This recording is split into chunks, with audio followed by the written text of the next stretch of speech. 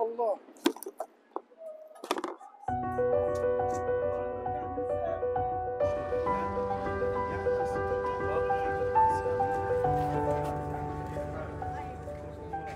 الصحفي الفلسطيني في هذه الحرب دفع ثمنا باهظا جدا جدا جدا من أهله وأقاربه أكثر من سبعين من الصحفيين الفلسطينيين استشهدوا بعض الأسر استهدفت كما حصل مع أسرتي بطبيعة الحال في المكان الآمن الذي قال عنه جيش الاحتلال الإسرائيلي بأنه آمن. الصحفي الفلسطيني في هذه الحرب وجد نفسه في أتون المعركة مرغما لا راغبا وبالتالي يعني بات يدفع ثمنا باهظا كما أي مواطن فلسطيني عادي بات يخشى على نفسه على حياته على عمله ويخشى أيضا على أسرته وأحبابه وأقاربه.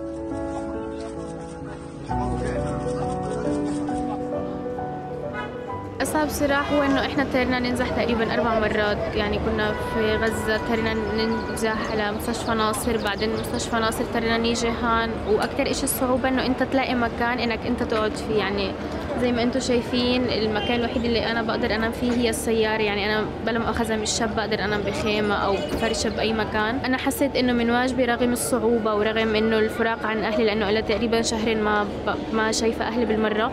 بس إنه هو هذا الإشي الواجب والوطنية اللي لازم إنه أنت تعطي رسالتك للعالم وتفرجيهم إيش قاعد بصير بغزة وإيش الاحتلال قاعد بيعمل في الشعب الغزاوي.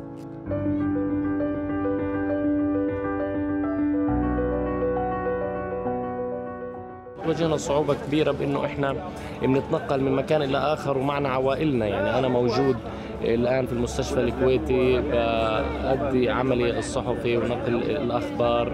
معايا عائلتي موجودة بخيمة نازحة يعني زيها زي باقي آلاف العوائل التي نزحت من الشمال القطاع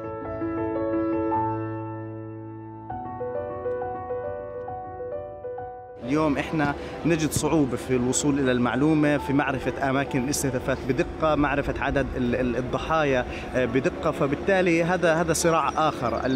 المرتبط فيه هو انقطاع الإنترنت والاتصالات. الحرب هذه تختلف عن الحروب السابقة. كون إنه لا يوجد أماكن مكان آمن في كل أنحاء قطاع غزة. حتى الدروع اللي إحنا بنلبسها هي ما بتوفر لنا الحماية بسبب إنه الطائرات الإسرائيلية والجيش الإسرائيلي ما بيفرق ما بين صحفي ومواطن.